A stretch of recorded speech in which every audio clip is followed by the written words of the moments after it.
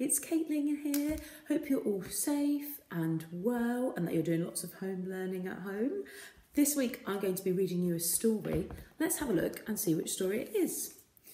So it's inside this book, which is called Yummy, my favourite story. So let's have a look inside. Oh, it's going to be this story this week. Oh, that's a tricky word that reception should know. The enormous turnip. The enormous turnip. I wonder if anybody's heard this story before. Okay, once upon a time, an old man wanted to grow turnips. Now, turnips are a type of vegetable which grow in the ground. And he planted some, so he scattered some seeds on his garden and he said, Grow, seeds, grow grow into big, juicy turnips.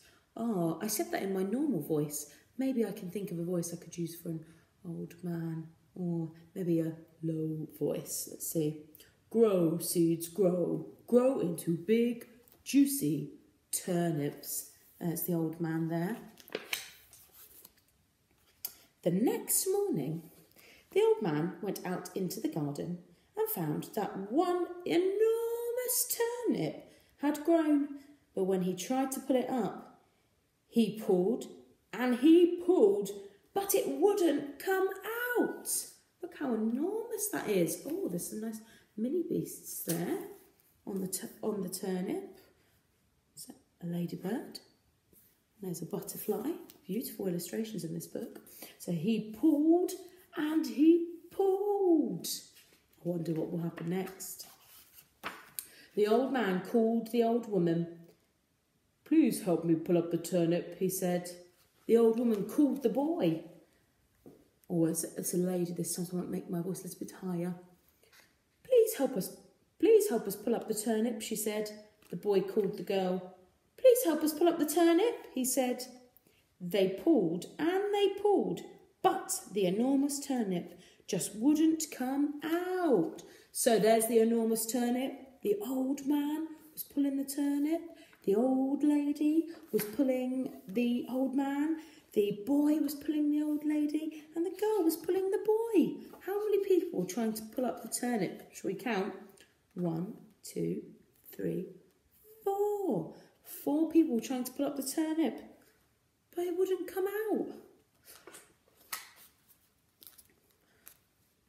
Dog, dog, Help us pull up the turnip, called the girl. Oh, that's a girl's voice. Oh, it's a, a little girl, so I might do a high voice. So, dog, dog, help us pull up the turnip, called the girl. They pulled and they pulled.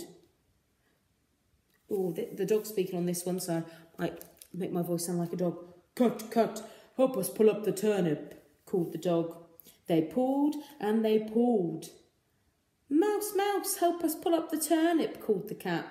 Oh, I think I could do that slowly for a cat. So, mouse, mouse, help us pull up the turnip, called the cat. They pulled and they pulled and they pulled. They pulled and they pulled. So now the dog is holding on to the girl and the cat is holding on to the dog and the mouse is holding on to the cat. Even more people trying to pull the turnip now. And at last, out came the turnip. Hooray! How many people and animals did it take to pull up the turnip? Let's count, shall we? So we've got the old man, it's one. The old woman, two. The boy is three. The girl is four. The dog is five. The cat is six. And the mouse is seven. So seven just to pluck this enormous turnip. I wonder what they will do with it. They took the turnip home and chopped it and cooked it and had an enormous feast. And they are probably still eating now. Oh, that's a lot of turnip in there.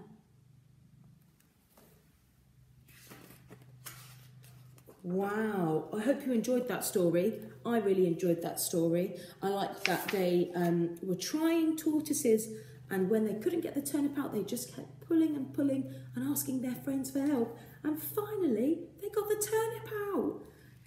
That was a really nice story. I hope you enjoyed that story. That's going to be our story of the week this week, the enormous turnip.